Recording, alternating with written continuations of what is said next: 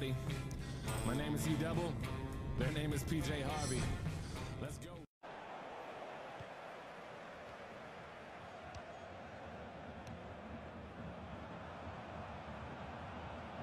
Shots on here.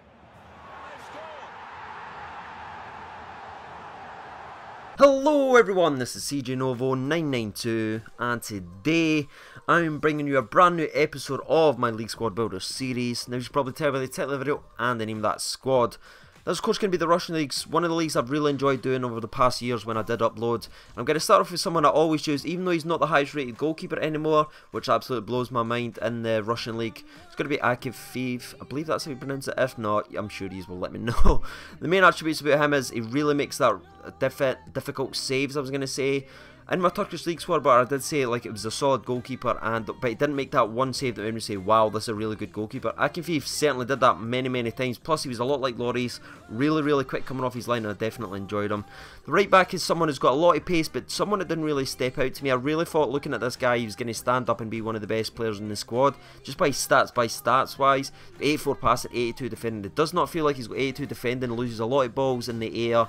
Really quick though, which I suppose is a sort of benefit when you're using your right back. Plays a lot like Kyle Walker, just not as strong and not as good as in the air.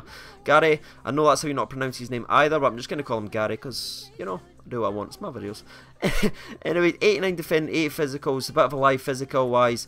Him and his defensive partner, but a wee quick shout out to this guy. If you're starting out and you don't have a lot of coins, definitely use him. But back to my point, him and Sigurdsson, the England killer, make a really strong partnership in the centre defensive, really benefit each other um, exceptionally well. Both good in the air, both good at tackling. Their slide tackle seems to go on for days. Sigurdsson's actually got high defensive work rate. And also chipped in with one goal, I believe in that as well. The left back is someone who stepped up as well. I wasn't too excited about using it in the left backs, but I actually forgot this guy had an international classic Euro, whatever it's freaking called, card. I believe he played for Chelsea if I'm not mistaken anyway. 86 pace, he seemed a lot quicker than that. Get, gets a lot more involved in the play. Sort of done what the job I thought the right back was going to do, but it was actually him that stepped up in the left back position. Stepped up, got a couple of um, sort of assists of the assists, got some nice movement, and his slide tackle was really good in that as well. The first centre mid is going to be someone I've converted. I believe he was a centre defensive mid, but I bought him as a centre attacking mid just because, you know, I do what I want. Anyway, he chipped in with one, a couple of goals. Nothing too great from the midfield, but he's good at winning the ball back. That was his main attribute. Winning the sort of slide tackles. He's got lovely passing in that as well. I believe if I've played uh, more games that people didn't rage quit, that's one of the things that took some of the stats away. So if you're looking at these stats and sort of rating them towards my other squad, you'll be probably thinking, wow, this squad isn't that great. And I, I would say there was a lot of rage quits in the first half. You'll see that between the match ratings at the end. And let's speak about Eremenko and that as well. Scored a lot of goals for me. You'll see I'm chipping in with some goals here. I'm just going to speak about the rage quits. I got a lot of them. I don't know what it was about the squad, but it made a lot of people rage quit, which was very frustrating because I like to try and get the best stats possible.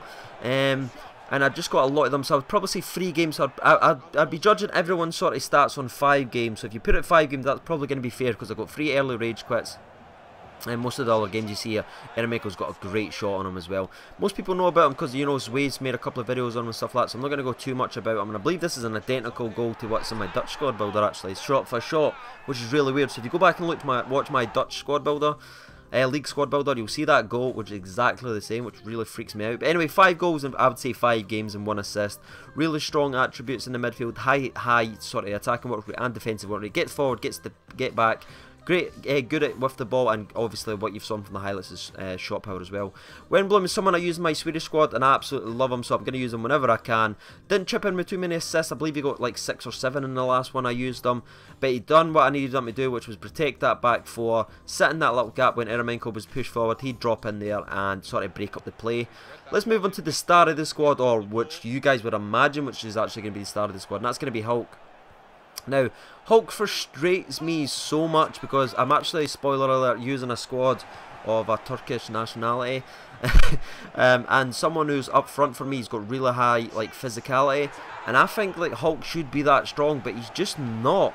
I don't know what it is. I've tried him in all different formations. I actually hate this formation I'm using. I prefer the 4-3-3 with the 4 option, with the centre attacking mid and the lone striker. But I, I, played this one to try and get Hulk more involved in this squad because I started off with that and he was just never involved. And you'll see him with the goals and that stuff. There's another rage quit. Um, you'll see that he is scoring goals for me and he is looking really good. And lads, he is good, but I just expect him to. He's 95 rated, and I've used like cards like 83 rated and 85 rated, and their head and shoulders impact the game a lot more than Hulk does. Which is, I know it's difficult to sort of imagine that I'm going to give the Hulk sort of a little slap on the wrist because of the goals he's banging in here. Did get seven goals in basically five games and one assist. All the stats you could sort of want, but he's just not as good as his stats suggest. Um, someone who's actually really, really fun to use but did not infect the game the way I wanted them to was going to be Shatov. I believe that's how you pronounce his name anyway. if not, it's pretty awesome. Shatov did not score a lot of goals for me. I believe he got two goals and three assists or something, or five assists, something like that in the five games. Didn't score a lot, but you could give the ball to him, and he was one of those players, with the running squads I've had, I've not really had someone who's got good skill moves. And Shatov can pull off the skill moves. He's actually got a dangerously good long shot, which I didn't realise until the last couple of games. So if I believe if I played more with him, maybe if I played like 10 or 11 games, he'd have chipped in with more goals because he's got a very good long shot. But I didn't try any long shots until the very end. Just something in my mentality. I just didn't try until the very last two games that he did chip in with one really good one and hit the bar, I believe, twice in that as well. Got really good pace, phenomenal dribbling, and really good fun sort of player to use. One of the best players in the squad, I was going to say. For the striker, I'd actually recommend this guy, Cornican. Um, he's really good. Got one goal and two. I believe I subbed him on and he scored two goals for me. Um, this guy, I have no idea how you say his name. I believe he's sort of disappointing again at the Euros for Russia as well. But it's hard for me to think like what I'm going to say about this guy. Is, is probably I'm going to throw this highlight in here just so you can see. That's probably the best thing you could probably think about him is he flatters through to see, again, he's one of the players that should be really strong. And he sometimes but he's so inconsistent with his strength. He's so inconsistent with his finishing.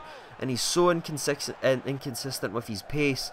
He's just a really, as you can imagine, inconsistent. That was actually the very first shot of the squad. That If you want to go and watch that goal again, that was the first game, the first shot. And I was like, this guy's going to be amazing. But he just wasn't. Four-star weak foot, um, he's definitely not because his left foot is absolutely horseshit. His right foot is decent, but he's he's so inconsistent in finishing. He gets the goalkeeper either saves it or he hits the post. He hit the post four times, lads, which I think is way too many. He should be scoring a lot more goals.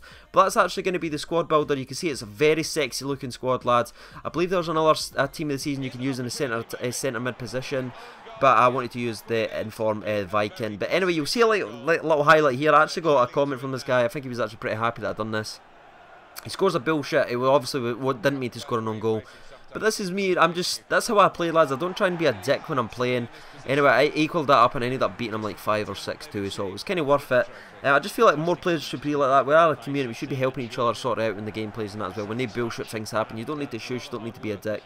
But obviously, 8 games with this squad, back to 8 wins, 100% win accuracy with this squad. Fun squad to play with, lads, but I'm going to leave that now to listen to some music and read on some of the match stats, stuff like that. Fun squad, I'm going to give about an 8.5 out of 10. Really expensive, though, mostly because of Hulk, around 700k for the entire squad. I've been CJ Novo 92. Thank you for watching, and bye-bye am just exactly what I will be. Just a guy who can rhyme and chop ill beats. One day I'll recover from what ails me. Till then I'm on that fuck what the sales be. My mama told me one day I'ma grow up big and I'ma be a king. And my papa told me it's okay to sit where shit hurts. Don't forget your dreams cause they'll get you through this. So-called life they call living, but I call it strange and I bet I'll do it. Cause I'm on my way and strong enough that I can shake. They talk about death, we trying to live life while they signal says left, but they really going right. But who cares? They got nothing to improve upon me while we pass them fast lane Rubicon. Uh, so let the shitstorm ring and they try to dap us up, but we just leave them hanging. Yeah, so let them catch up with the language. They can talk shit, but you know that we can manage.